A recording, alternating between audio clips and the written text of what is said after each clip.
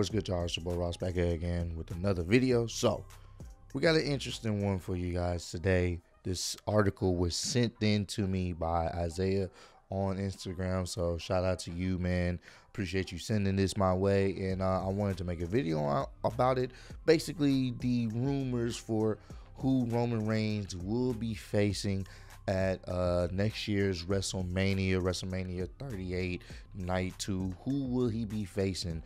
We know the rumors are, you know, been circling around for a while that he'll be facing The Rock, maybe Brock Lesnar, but we're not sure. So take this article from WWF oldschool.com. Take this with a grain of salt.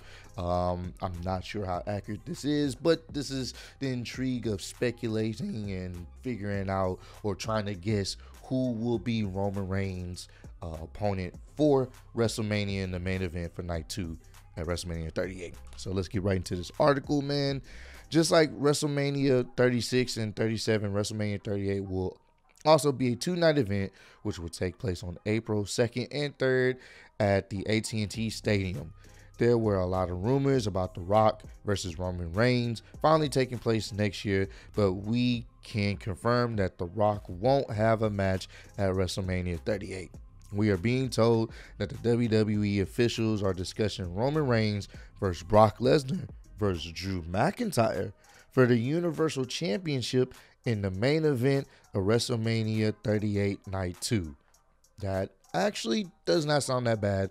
I'll get into the reasons of why I feel like that's that's not a bad option. Uh, WWE officials feel like uh, this is the biggest match they can book at this point, given The Rock isn't available. WWE wants to keep Lesnar in the Universal title picture, and they want to add Drew McIntyre to the mix since he has history with both men. WWE is currently building McIntyre as an unstoppable force once again on SmackDown.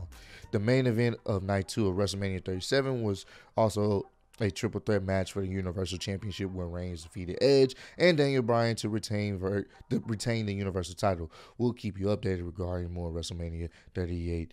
Uh, WrestleMania 38 plans here on WWF Old School, and uh, that's crazy. they got some clip of Dawn Marie makes out with Torrie Wilson, bro. That's wild that they have that clip there. But yeah, um, I'm not gonna lie to you. Roman versus Drew versus Brock, I'm actually okay with. I actually think that is a good option.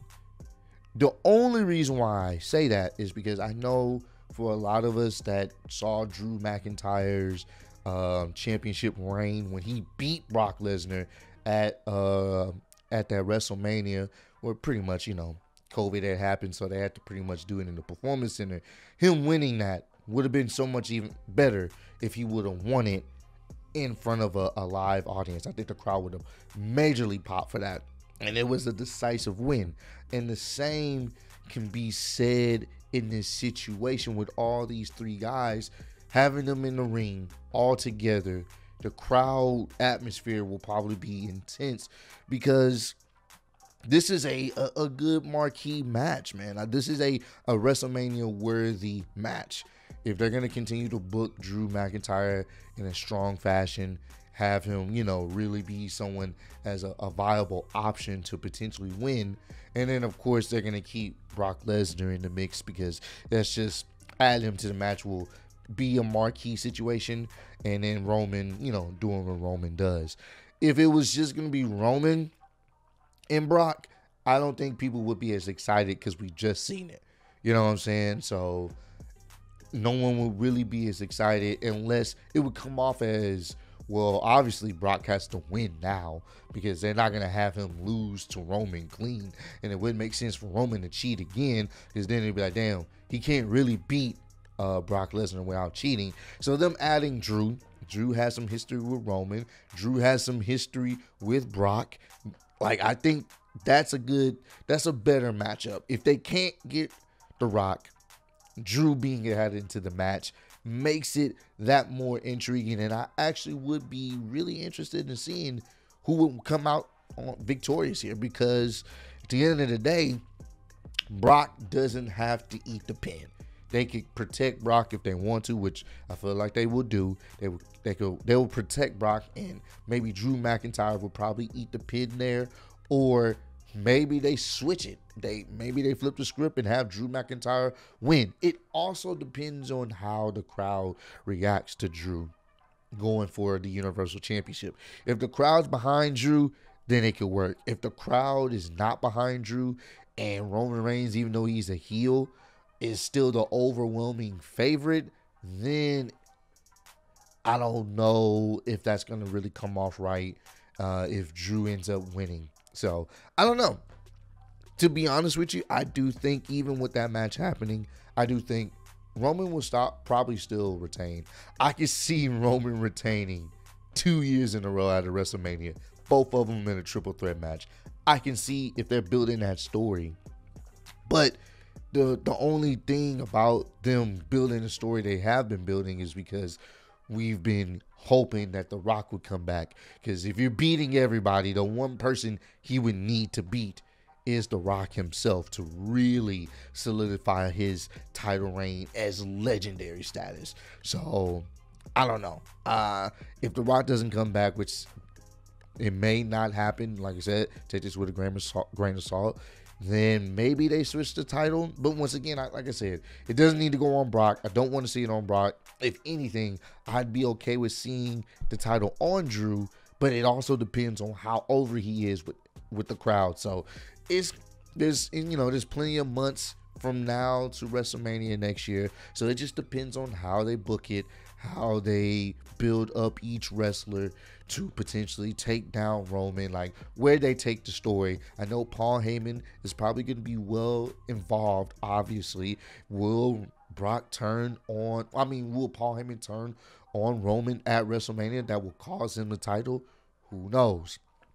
Is it there's a, there's a lot of ways they can book this. So I think that's probably the best possible match they have right now. If they if it's not The Rock, that would probably be the best possible match I can see on SmackDown. Unless, unless, because we have seen stranger things. If you guys remember, Kofi Kingston, Kofi Mania started really going crazy at the Elimination Chamber. People were really wanting him to be to win the championship, to go for the championship. Something could happen where somebody gets crazy over and they want them in that title shot opportunity, that title, that title match opportunity is a possibility.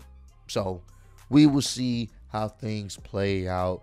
Like I said at the beginning of this video, this is just rumors, so I wouldn't take this as, you know, definitive proof or, you know, something that's, you know, gonna actually happen. This is all just speculation, so we will see. But comment down below, let me know. Would you guys actually be okay with the main event of WrestleMania Night 2 being Roman versus Drew versus Brock? Would y'all be okay with that? Or do y'all think maybe somebody else should be in that spot if we can't get The Rock to come back for WrestleMania?